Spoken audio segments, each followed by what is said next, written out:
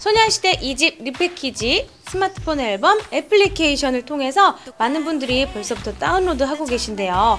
어, 티저 영상 그리고 뮤직비디오를 벌써부터 많이 많이 접하셨다고 하는데 자 또 어떤 컨텐츠들이 업데이트되고 있는지 소개해 주세요.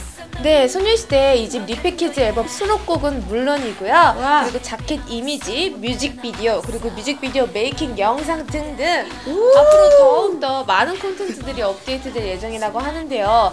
이제는 정말 이 핸드폰을 통해서 소녀시대를 국내에서뿐만 아니라 해외에서까지 볼 수 있다는 음. 게 정말 너무너무 신기한 것 같습니다. 그렇죠? 맞아요, 맞아요. 자, 소녀시대 2집 리패키지, 스마트폰 앨범, 애플리케이션 많은 관심 부탁드리고요. 그리고 런 데빌 런으로 활동하고 있는 저희 소녀들도 많이 많이 아껴주세요. 지금은 소녀시대!